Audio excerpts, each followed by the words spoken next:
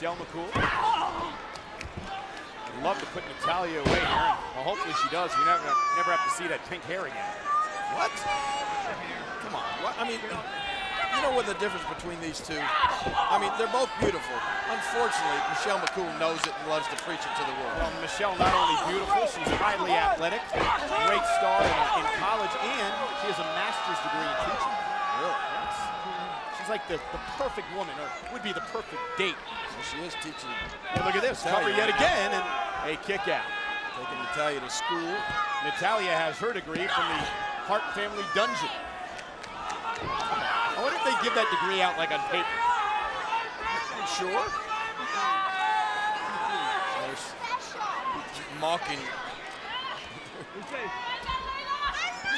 Does Layla have a, a degree? Do you know? Does Layla have a degree? What I'm asking you. Probably winning higher learning or something. Oh, she did, she did win the Diva Search competition. There you go. Does that just come with a piece of paper? I think so. Like a diploma? Came with a big check. Where's your diploma from?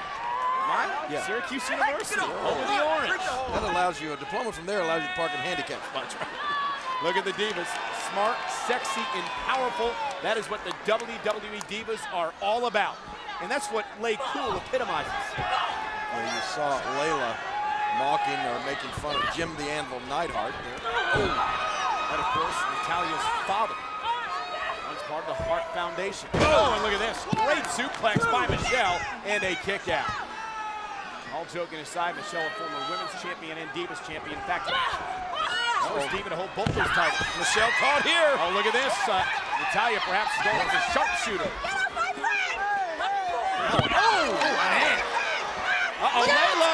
Don't, come on. Layla's not even in the match. Oh. Well, these two love to be close. Can't get any closer than that.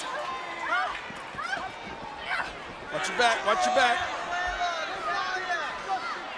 Uh, oh, oh, look out. Oh, no. Oh, no, Natalya. Look at this here. Natalya's pinned Michelle.